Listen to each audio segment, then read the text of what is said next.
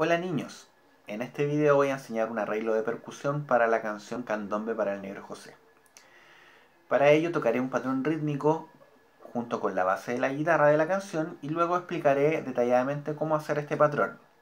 Si quieres tocar la percusión de esta canción, debes saber que esta será dividida en tres videos distintos donde se explicarán patrones rítmicos distintos y que los tres deben ser aprendidos. El link de la percusión número 2 y número 3 va a estar en la descripción de este video. Si no tienes instrumento musical, un metalófono o un instrumento de percusión, no te preocupes, puedes tocar la canción con cualquier cosa que tengas en la casa y que pueda hacer sonido.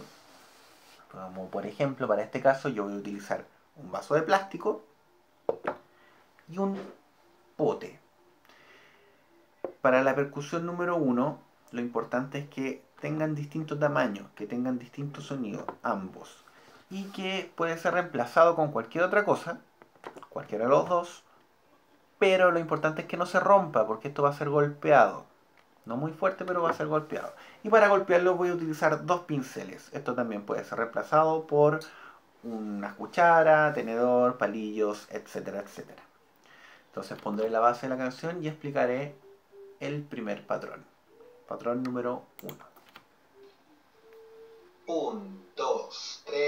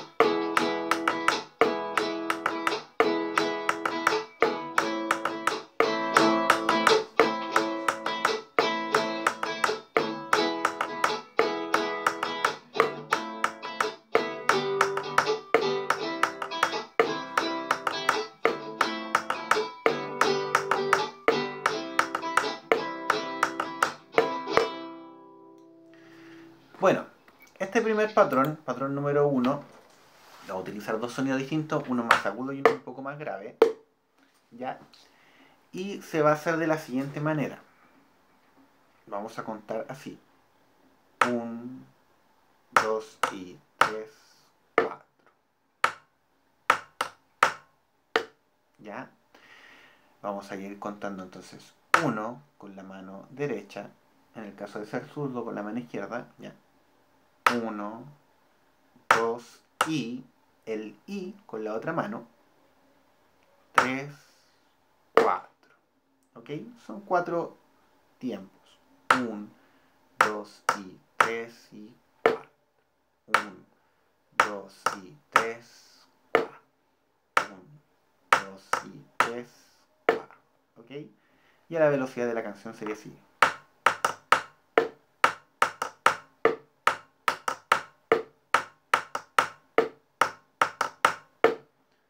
Los aplico una vez más. 1, 2 y 3, 4. 1, 2 y 3, 4. 1, 2 y 3, 4. 1, 2 y 3, 4. 1, 2 y 3, 4. 1, 2 y 3, 4. 1, 2 y 3, 4. 3, 4. 1, 2 y 3, 4. 1, 2 y 3, 4. Entonces el número 1, 2 y 3 en el sonido agudo y el 4 en el sonido grave. Como bien dije antes, en la descripción del video va a estar el link con la partitura donde salen escritas las tres percusiones. Va a estar el link con la base de la guitarra para que puedan practicar la canción junto con la base de la guitarra. También va a estar el link de las otras dos percusiones y de otros tipos de información relevante para la lectura de la partitura y de tocar las percusiones.